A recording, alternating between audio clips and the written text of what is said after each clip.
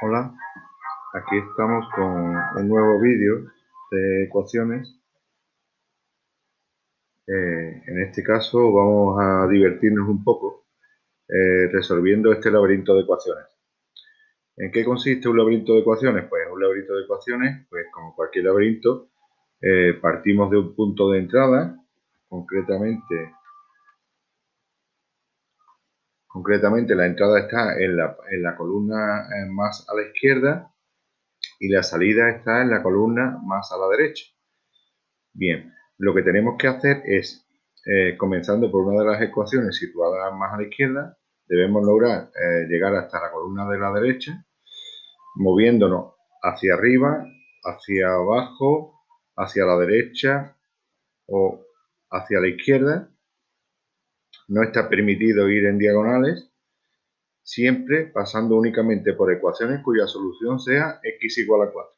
¿Vale? Bien, importante.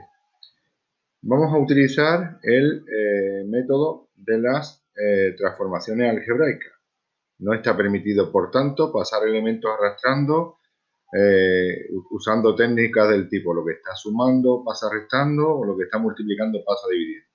Insistimos en que queremos un aprendizaje significativo del álgebra, bien, usando este método y las transformaciones permitidas para obtener ecuaciones equivalentes. Bueno, pues vamos allá. Tenemos que buscar en esta columna una ecuación cuya solución sea x igual a 4. Bien, pues a primera vista parece que si un número dividido entre 3 me da 12, ese número no va a ser 4. Y aquí, si un número multiplicado por 2 me da 8, parece que es 4. Bueno, vamos a verlo.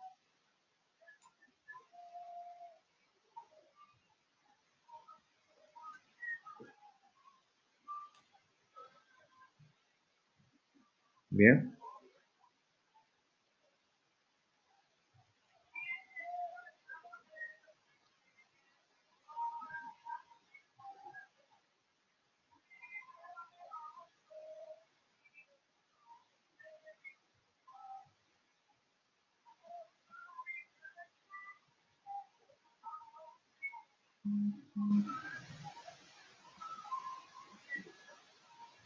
Bien, como veis, al pulsar eh, sobre el signo igual, ¿eh? aquí no lo vamos a resolver a mano, sino que vamos a resolverlo usando esta herramienta. Al pulsar el signo igual aparece la ecuación. Bien. Si yo la ecuación quiero despejar la x, en este caso, pues tendría que multiplicar por 3, ¿vale? ¿Por qué? Porque quiero dejar la x sola. Entonces, entonces, lo que tengo que hacer es, como la x está dividiendo por 3, pues tengo que multiplicar por 3 ambos miembros para que este 3 se me vaya. ¿Ok? ¿Bien? Y ahora cuando pulso, hago las operaciones y me da que x es igual a 36, con lo cual esta ecuación no es válida. Bien, para el laberinto. Bien, para el camino de salida del laberinto. Vamos a coger esto. Bien, usamos. ¿Y qué es lo que quiero hacer? Quiero despejar la x, por tanto, tengo, como está multiplicando por 2, quiero eliminar este 2. Para quitar este 2, tengo que dividir entre 2, ambos miembros. ¿Bien? ¿Ok? Bien. Y ahora pulso, pulso. Me sale x igual a 4. Luego ya tengo la primera. Bien. Hemos entrado aquí al laberinto. Bien. Y ya tengo mi primera. Aquí.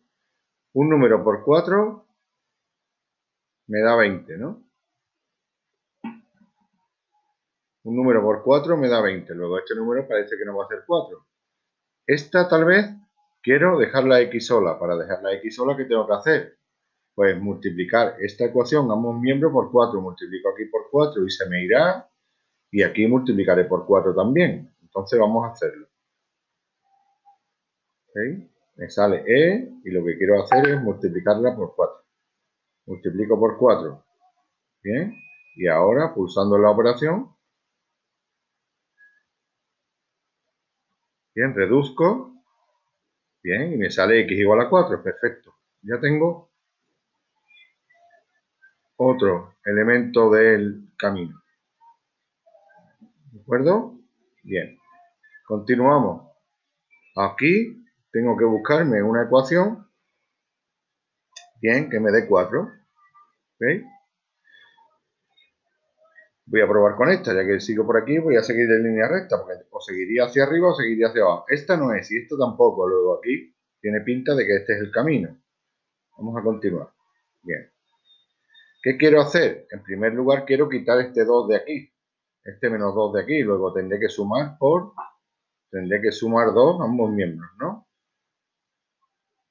Bien. Pues le doy más 2. Bien, y reduzco. He aplicado la transformación 1, sumar o restar, y ahora reduzco. Bien. ¿Qué es lo que tengo ahora? Tengo ahora que la x está multiplicada por menos 3, ¿no? Entonces, lo que tengo que hacer es eh, quitar este menos 3 de aquí. ¿Cómo puedo hacerlo? Pues dividiendo, dividiendo por menos 3. Bueno, pues me coloco encima y divido ambos miembros, la, la ecuación entre menos 3, es decir, divido un miembro y otro por menos 3. Bien, ejecuto la división, pulsando, ejecuto la división, me sale x igual a 4, perfecto. Estamos a punto de salir del laberinto. Bien, ahora llegamos, ¿no? No podemos ir en diagonal. Entonces, aquí si resolvemos esta, veremos que 16 por un número que no conozco me da 4. Ese número no puede ser 4, porque si ese número fuera 4, 16 por 4 sería 64. Luego, este no es el camino. Por tanto, tengo que pensar en ir hacia arriba o hacia abajo. Bien, me la voy a jugar hacia abajo. Vamos a verlo. Ojo esta ecuación. Bien. ¿Qué es lo primero que quiero hacer? Quiero despejar la x, ¿verdad? Luego lo primero que tengo que hacer es quitarme este menos 3 de aquí. Para quitarme este menos 3, usando las transformaciones algebraicas, ¿cuál eh, transformación? ¿Qué transformación puedo usar? ¿La T1 o la T2? La T1. Sumar o restar a los dos miembros un mismo número. En este caso va a ser más 3 el que voy a sumar. Pulso.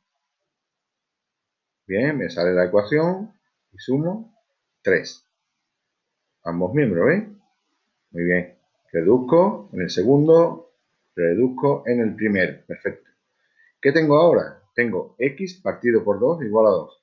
Este partido por 2 lo quiero quitar. ¿Cómo lo quito? Pues multiplicando o dividiendo los dos miembros por un mismo número distinto de 0. En este caso tendría que multiplicar por 2. Voy a multiplicar por 2 la ecuación al completo. Multiplico por 2. ¿Y qué tengo? Perdón. Bien, y ahora reduzco. Hago la operación. Muy bien. ¿Qué tengo? X igual 4. Luego, más cerca, no. Yo diría que ya prácticamente estoy fuera del laberinto. ¿Por qué? Porque en diagonal no puedo ir. Tengo que ir a la derecha. A la fuerza, pues. Por tanto, parece que este es el camino. Pero la ecuación no está despejada. Vamos a ver si efectivamente su solución es x igual 4. Bueno, pues hacemos lo mismo. ¿Qué es lo que tenemos que hacer? Pues este, quiero despejar la x, ¿verdad? En primer lugar, este menos 20 me lo tengo que quitar. ¿Cómo lo quito? Sumándole su opuesto, sumándole 20, pero si sumo aquí, tengo que sumar aquí. Esta es la transformación 1. Pues vamos a hacerlo. Bien, cojo la ecuación al completo y le sumo 20. ¿Y qué tengo? Ok. Y reduzco y reduzco. Bien. ¿Qué tengo ahora? Pues 4x igual a 16. ¿Qué quiero hacer? Quitar el 4. ¿Qué tengo que hacer? Aplicar la transformación algebraica número 2, la T2. Multiplicar o dividir los dos miembros por un número distinto de 0. ¿Qué hago? Como quiero quitar este 4, que está multiplicando la x, tengo que dividir por 4 ambos miembros. Pues allá voy. Bien, me cojo la ecuación y divido entre 4. Y ejecuto la operación, y ejecuto la operación. Bien, ¿y que tengo? x igual 4. Pues señores, hemos llegado a la salida del laberinto. ¿De acuerdo? Bien. Igual que llegaremos a la salida y venceremos al maldito bicho que nos está acosando en estos días. Como veis, ¿eh? un juego divertido y eh, lo que quiero insistir es en que eh, debemos aprender álgebra de manera significativa. Dejaros de, aplicar transformaciones mecánicas del tipo lo que está sumando pasa restando, lo que está multiplicando pasa dividiendo y aprendamos matemáticas con fundamento. Para resolver ecuaciones, simple y llanamente hay que ir haciendo transformaciones algebraicas, obteniendo en cada paso una ecuación más sencilla, hasta llegar a una del tipo x igual a un número, bien, que nos dará la solución. Bien, eso es todo. Nos vemos.